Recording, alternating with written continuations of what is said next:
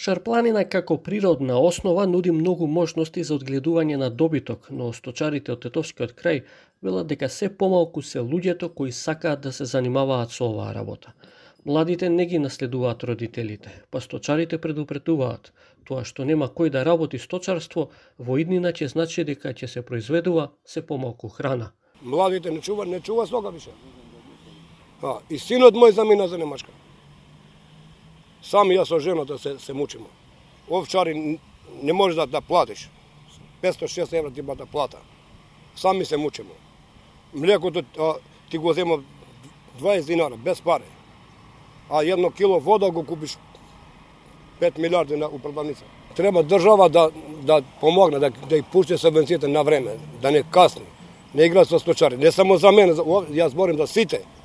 Се помалку може да се екзистира од сточарството поради напластените и нерешени проблеми и лошото државно менаџирање, вели Меджита Мити од Сдруженијето на одгледувачи на овци и шарпланинец.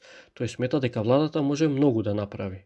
Само треба да има човек у влада што ги разбира работите.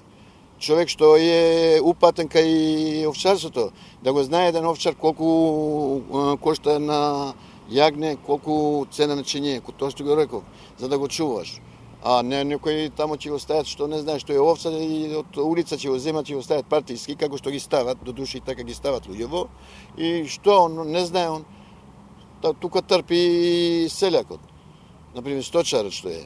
И он ќе да загуба и една година, втора година ќе почне да ги продаде. Помошта што ќе се даде од буџетот на сточарите значи помош и за самата држава, подсетува Меджит тврдејќи дека така Македонија и во иднина ќе има одгледувачи на крави и овци кои ќе обезбедуваат природна и здрава храна за населението. Ние немаме кој знае што е индустрија.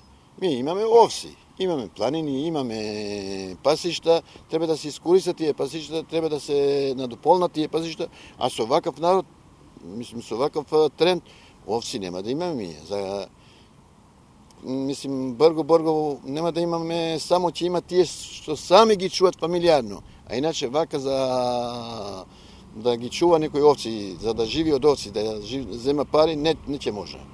Сточарите бараат интервентни мерки од владата да се зголемат субвенциите за јагниња и млеко.